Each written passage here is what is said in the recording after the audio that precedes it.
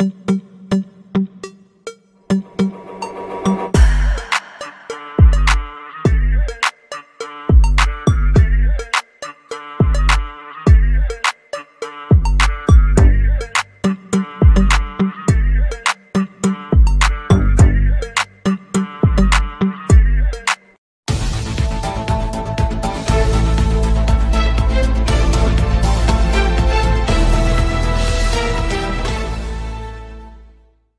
नमस्कार Silvassa news line पर आपका स्वागत है।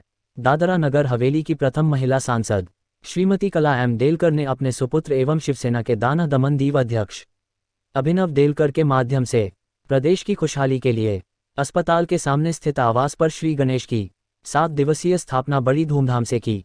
देखिए सिलवासा न्यूज़ लाइन की रिपोर्ट में कार्यक्रम की झलके एवं अभिनव देलकर ने क्या कहा उनसे हुई हमारी बातचीत।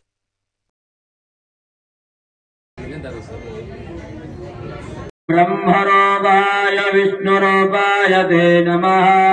नमस्ते रुद्ररूपानिवारार्थे जलं समर्पयामि। भगवान् सम स्वाहा।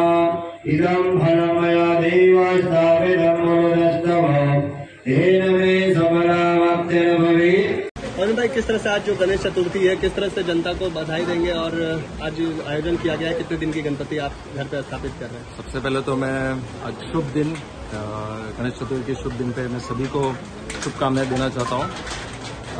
और सारे प्रदेशवासियों को तो मैं शुभकामनाएँ देना चाहता हूँ कि इस अवसर पर हमारे प्रदेश में जितने भी विघ्न आए हैं, हम भगवान से यही प्रार्थना करते हैं गणेश भगवान से यही प्रार्थना करते हैं कि जल्द से जल्द वो विघ्न भी चले जाए, हमारे प्रदेश में अच्छे से दिन आए, अच्छे दिन आए, और लोगों में और खुशहाली बढ़े।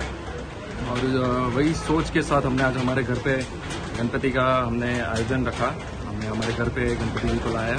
सात दिन का प्रोग्राम रखा है और हम ये प्रार्थना करेंगे कि जल्द से जल्द अच्छे दिन आए, सभी के घर में खुशियाँ आए और हमारे प्रदेश में भी अच्छे दिन के साथ साथ और खुशियाँ आए, वही हम प्रार्थना करेंगे। ये अवसर पे तो मैं यही कहूँगा कि हम सभी प्रार्थना करें। मैं, जैसे मैंने कहा, सबकी खुशियाँ। हमारे प्रदेश में जो विघ्न भी आए हैं, आज तक जो- भी इतने सालों से चल रहे हैं, वही प्रार्थना करेंगे, अच्छे दिन आए। ये विघ्न भी दूर रहे और वही आशा करें और वही प्रार्थना करेंगे